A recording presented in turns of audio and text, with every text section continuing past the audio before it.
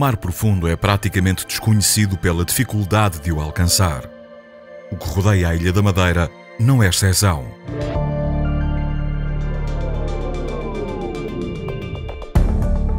Pelo segundo ano consecutivo, o Observatório Oceânico da Madeira, constituído por uma equipa multidisciplinar, jovem e dinâmica, voltou ao mar para uma nova expedição oceanográfica. A missão é ambiciosa e envolve múltiplas tarefas.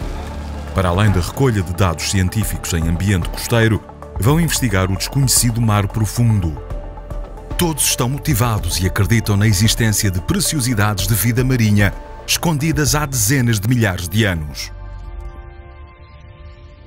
Dois navios da República Portuguesa garantem as condições para a missão: o Auriga e o Gago Coutinho.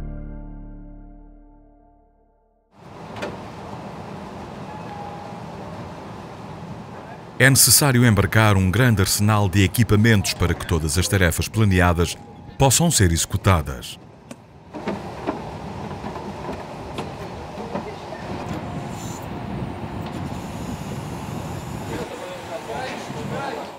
Alguns dos trabalhos a bordo do Gago Coutinho só foram possíveis graças às características particulares deste navio. Este navio está equipado com uma série de equipamentos uh, científicos, sejam eles os sonares para uh, caracterizar a morfologia do fundo com elevado detalhe, sejam uh, equipamentos de medição de correntes, de recolha de amostras de sedimentos, de amostras de águas, para caracterização uh, de, todo, de todo o oceano na sua máxima extensão possível. Enquanto não se desce às profundezas deste imenso mar, há outras amostragens a fazer na superfície da água e na atmosfera. Temos instalado uma pequena estação meteorológica, que é esta, é uma estação compacta, que apesar da sua, do seu tamanho reduzido, é um, umas, é um equipamento de, de, de, de precisão e que mede a temperatura, a umidade, a pressão do ar mede também a velocidade do vento e mede também a precipitação. As medições são feitas de 5 em 5 segundos, com as quais são calculadas médias que são guardadas num computador minuto a minuto. Com recurso a outro instrumento, o radiómetro, os investigadores medem a radiação solar. O Sol é a principal fonte de energia da atmosfera e do oceano, por isso, necessitamos de compreender a sua variação ao longo de todo o dia. Mais sol disponível significa maior aquecimento da atmosfera e da superfície do oceano, criando bolsas de ar e parcelas de água com características físicas distintas.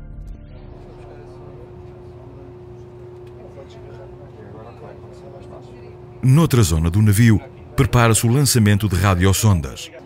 Este lançamento é feito com recurso a balões meteorológicos.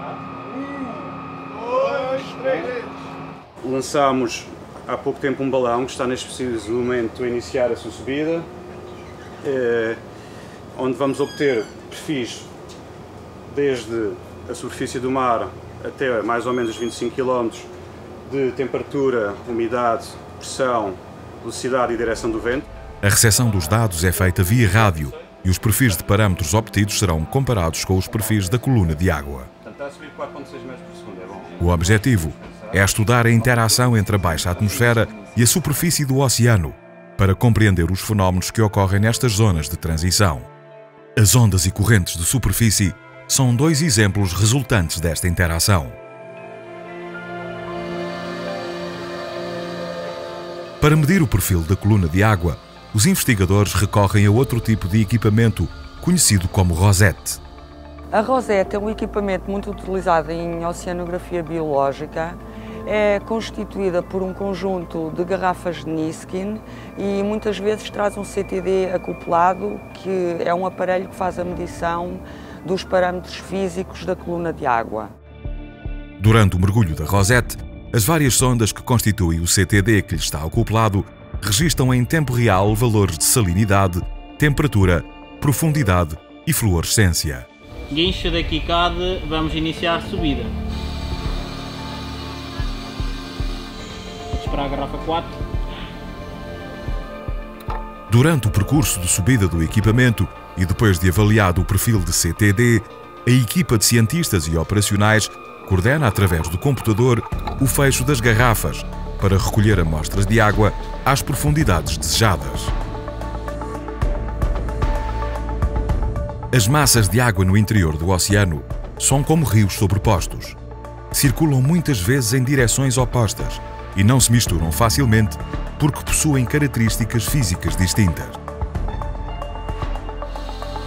Uma vez recolhida a rosete, a investigadora recolhe as amostras de água das chamadas garrafas de Niskin e acondiciona-as devidamente para posterior análise. O objetivo, neste caso em particular, é conseguirmos amostrar água a várias profundidades para análise de fitopigmentos e para análise de nutrientes.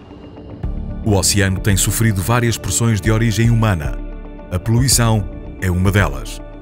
Para estudar a emissão antropogénica de halocarbonetos de vida curta, os cientistas desta missão recolheram amostras de ar e de água.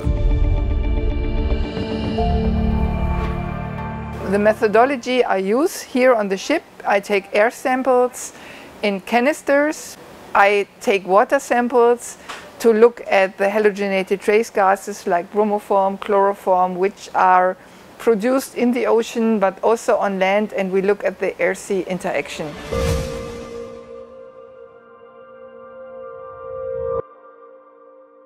No Gago Coutinho, prepara-se o lançamento de um equipamento de vanguarda, o Wirewalker. Este equipamento facilita a observação de fenómenos oceanográficos que variam rapidamente, quer em profundidade, quer no tempo. Serve sobretudo para estudar as pequenas variações de temperatura no oceano durante o dia, que resultam principalmente do aquecimento solar.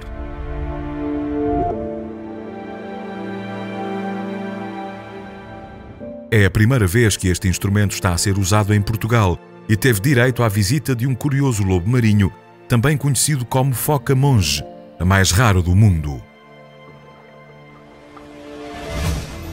Todas as tarefas da missão têm um elevado grau de exigência, mas a de hoje é especialmente árdua e demorada. O dia inicia-se com a deslocação do Gago Coutinho até ao porto do Caniçal. Já no porto, inicia-se a manobra de embarque de uma estrutura maciça muito pesada, que permitirá ancorar de forma estável um perfilador acústico, conhecido por ADCP, na zona da Ponta de São Lourenço. Os preparativos para a colocação do ADCP na água iniciam-se durante a tarde e terminam ao cair da noite. Durante três meses, irá registar valores de velocidade e direção das correntes.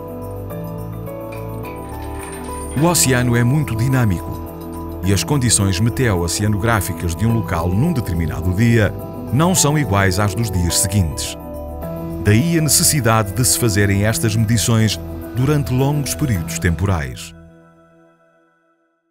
Recolhemos dados oceanográficos nos flancos da ilha, ou seja, entre o Porto Santo e a Ponta de São Lourenço e aqui na zona oeste da ilha, para estudarmos a influência uh, desta ilha montanhosa, desta montanha a meio do Oceano Atlântico, a interferência que faz na atmosfera, as perturbações meteorológicas que estas montanhas induzem e a sua relação, a relação desta, destes fenómenos depois com, com o oceano. Apesar da recolha de amostras de ar e de água no oceano para estudos biogeoquímicos ser exigente, investigar visualmente os ecossistemas profundos envolve operações logísticas ainda mais complexas e custos avultados. Nas últimas décadas, houve um avanço considerável nas tecnologias de exploração marinha. Atualmente, os cientistas podem recorrer a veículos subaquáticos operados remotamente, chamados ROVs. Com estes ROVs, podemos estudar os ecossistemas que se encontram a milhares de metros de profundidade. Portugal tem um destes veículos, o ROV Luso. A equipa do ROV Luso prepara meticulosamente a operação que se avizinha. Um dos procedimentos para que tudo corra bem consiste no mapeamento batimétrico do fundo marinho. Este mapeamento é fundamental para proceder à escolha do local ideal e operar o primeiro mergulho do Luso em segurança. Uma missão oceanográfica desta natureza é exigente. Por isso, as pausas para descanso e reposição de energias são essenciais para manter o ânimo da tripulação e dos cientistas a bordo.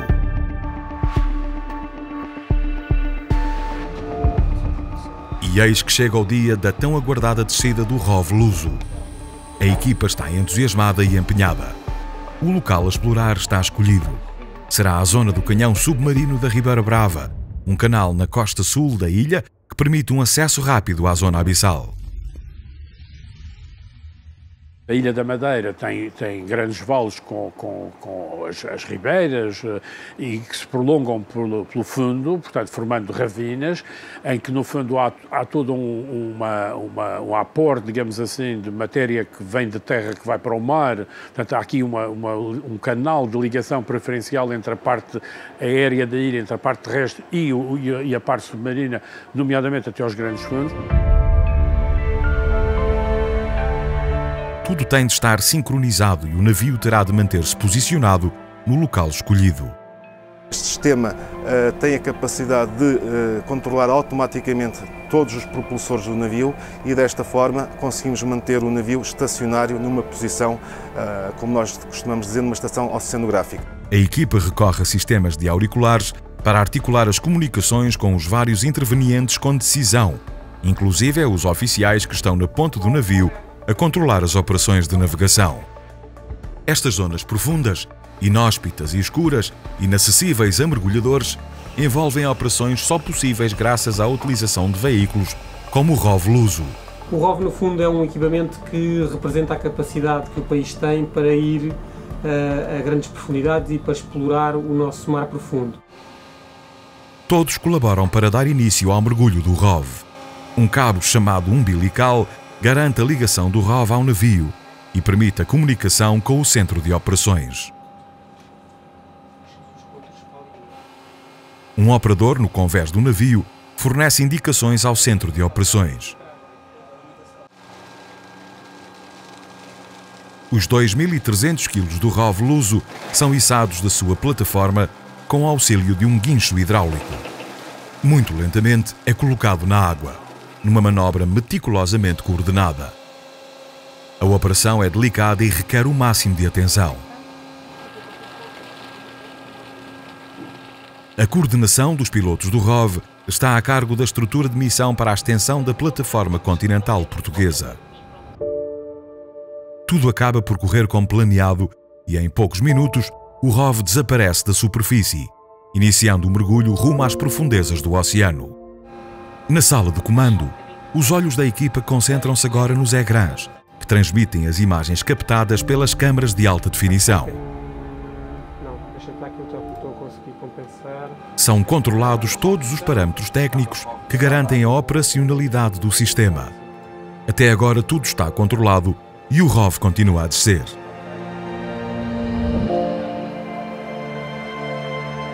Finalmente, após uma hora e meia de descida, o Luso alcança o fundo, aos 2 mil metros de profundidade.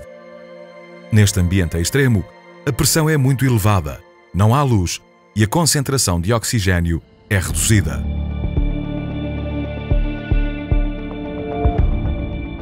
Deslocando-se junto ao fundo, o ROV começa a explorar a área. Os seres vivos que aqui possam ser encontrados têm de estar muito bem adaptados a estas condições adversas. Repente, as luzes que equipam o ROV revelam o que a escuridão esconde.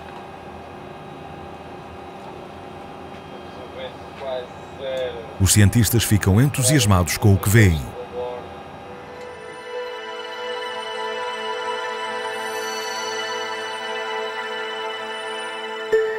Fazem uma das maiores descobertas científicas dos últimos tempos na Ilha da Madeira. A existência de um extenso recife de corais de águas frias, rico em vida marinha, nas margens do canhão submarino da Ribeira Brava. Um habitat prioritário quando se fala em conservação marinha, devido ao papel que os corais desempenham como reguladores ecológicos do bom estado ambiental dos oceanos.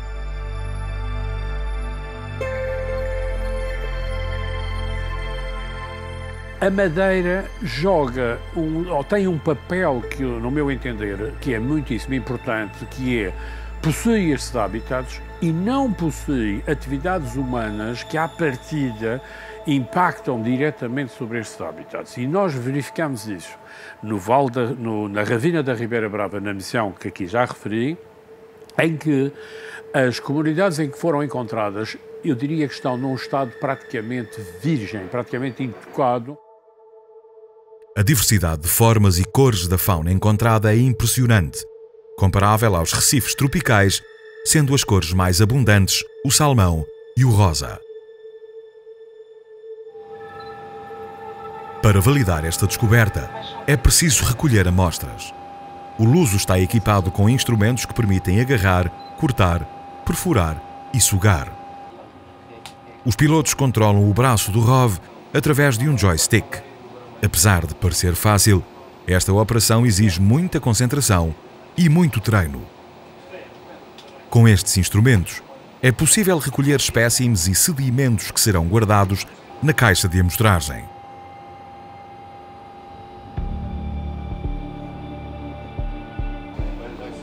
Logo no primeiro mergulho, o principal objetivo da campanha foi alcançado e o ROV já pode regressar à superfície.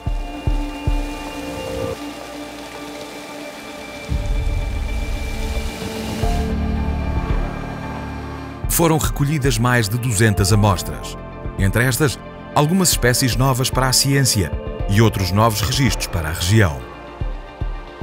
Este material irá contribuir, entre outros, para os trabalhos de mapeamento de habitats em curso na região e para projetos na área da biotecnologia azul.